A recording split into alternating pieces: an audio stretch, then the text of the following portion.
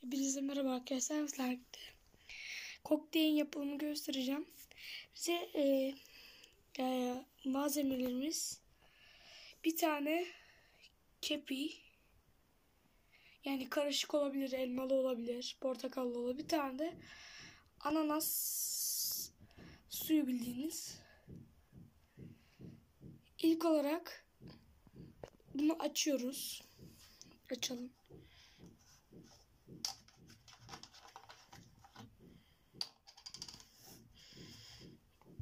İlk olarak bunu döküyoruz.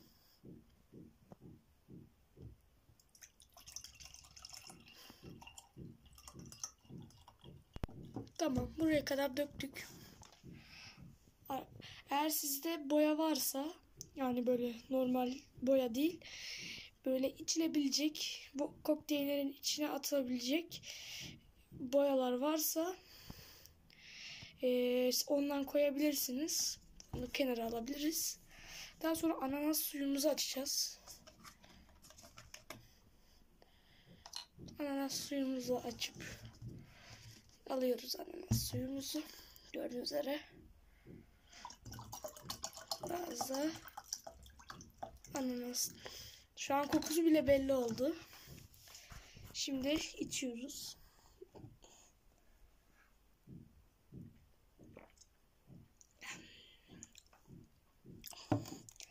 Tadı çok güzel. Bunları kenara alalım. Tadı çok güzel. Siz de deneyip yapabilirsiniz. Hem de içmedim falan diyenler için biraz daha içeyim.